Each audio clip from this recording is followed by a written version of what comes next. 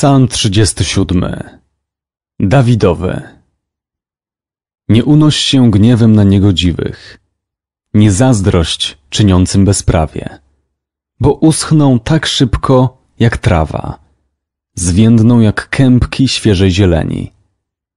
Zaufaj Panu i postępuj dobrze. Mieszkaj w swej ziemi i dbaj o wierność. Rozkoszuj się Panem, a spełni pragnienia Twego serca. Powiesz Panu swoją drogę, zaufaj Mu, a On podejmie działanie. Sprawi, że Twoja sprawiedliwość zabłyśnie jak światło, Twa prawość zajaśnieje jak słońce w południe. Wycisz się przed Panem, oczekuj Go cierpliwie. Nie złość się na tego, któremu się udaje – na człowieka, który przeprowadza swoje niecne plany. Odstąp od gniewu, porzuć zapalczywość, przestań się złościć. To prowadzi do zła. Niegodziwi i tak zostaną wytępieni. Ci zaś, którzy oczekują Pana, odziedziczą ziemię. Jeszcze tylko chwila i przepadnie bezbożny. Spojrzysz na jego miejsce, a tam go już nie będzie. Pokorni natomiast odziedziczą ziemię i będą rozkoszować się głębokim pokojem. Bezbożny knuje zło przeciw sprawiedliwemu, zgrzyta na niego zębami. Pan jednak śmieje się z niego. On widzi, że nadchodzi jego kres. Bezbożni dobyli miecza, napieli swój łuk, Gotowi są powalić ubogich oraz biednych, wymordować postępujących uczciwie, ale ten miecz przeszyje ich własne serca. Ich własne łuki zostaną złamane.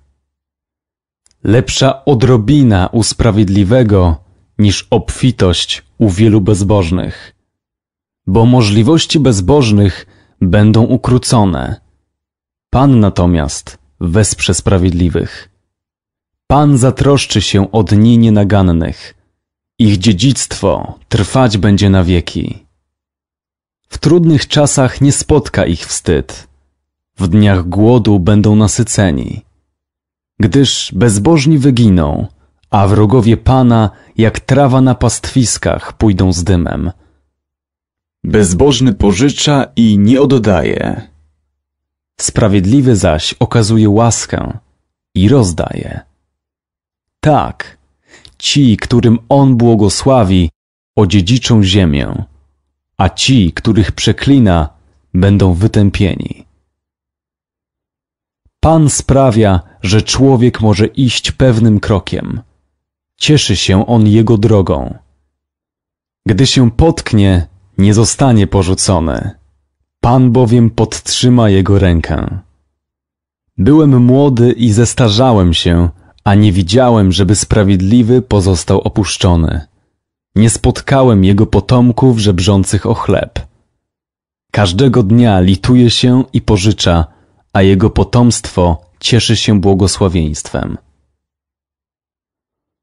Stroń od zła i czyń dobrze, a będziesz trwał na wieki.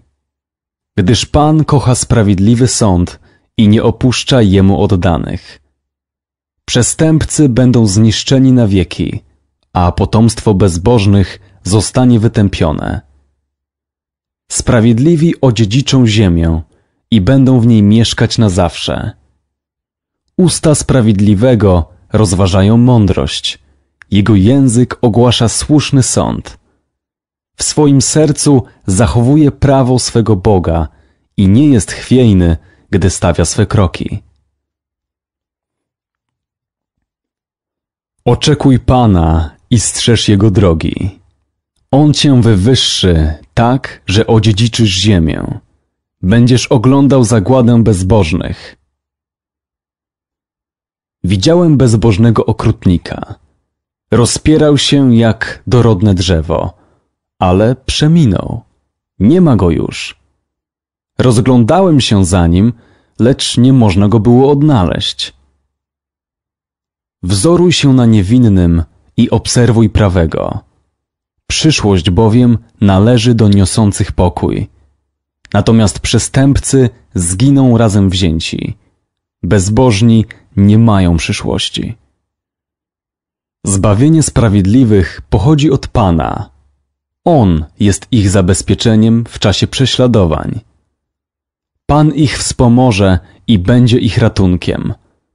Uratuje przed bezbożnymi i wybawi od nich, ponieważ w nim szukali schronienia.